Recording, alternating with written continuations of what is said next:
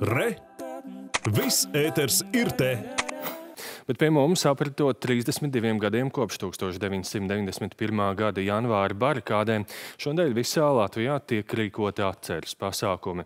To organizētāji un dalībnieki teica, šogad atceres dienā ir īpaša gaisotne, jo Krievijas iebrukums Ukrainā no jauna licis izvērtēt brīvības un neatkarības nozīmi un to, kādi upuri tādēļ jānes.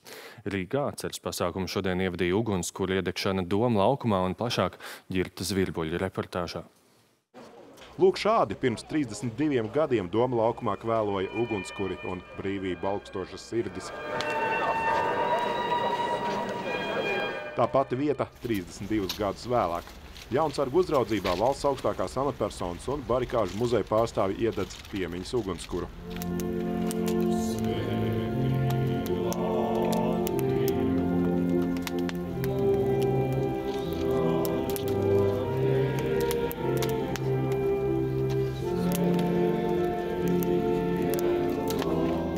Pašreizējais saimas priekšsēdētājs barikāžu laiku atminas no septiņgadīga pirmklasnieka skatu punkta. Mēs purciemā dzīvojam tajā laikā, un man mamma sataisījās vakarā, un, un tēvs jau kaut kā šaubījās. Viņš teica, varbūt, zin kā, nav tik droši bērnam iet, un tā mamma teica, nē, te top Latvijas brīvība, tas puikam ir jāredz.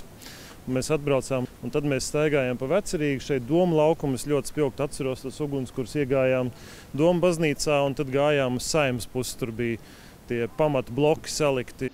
Savukārt toreizējais Tautas frontes priekšsēdētājs Romualds Ražuks savas barikāžu laika atmiņas un arhīvu materiālus apkopojas grāmatā Latvijas Tautas fronte barikādēs, kas tagad ikvienam lasītājam pieejama bez maksas elektroniskā formātā barikāžu muzeja mājaslapā Barikādas LV.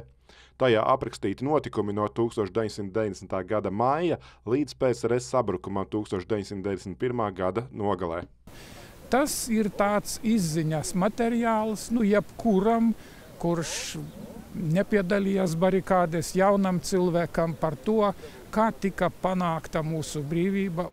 Gan Ražuks, gan barikāžu muzeja vadītājs Renārs Zaļais novērojuši, kopš Krievijas iebrukuma Ukrainā cilvēku interese par barikāžu notikumiem krietni pieaugusi. Un kas vēl būtiskāk, traģiskais karš no jauna liek novērtēt, cik liela laime ir Latvijas brīvība. Daudziem kuri savā laikā bija skeptiski. Šī skepse arī ir pieplakusi. Nu, ļoti vēlētos, lai viņa arī pilnīgi pazustu. Lai nostiprinātu šo izpratni sabiedrībā, barikāžu dalībnieki un muzeja pārstāvi cer 20. janvāris, kas šobrīd likumā noteikta kā atzīmējama diena, barikāžu aizstāvju atcerēja tiks pārveidots par oficiālu svētku dienu un brīvdienu. Ģirds Zvirbulis, Ivans Milovs, Latvijas televīzija.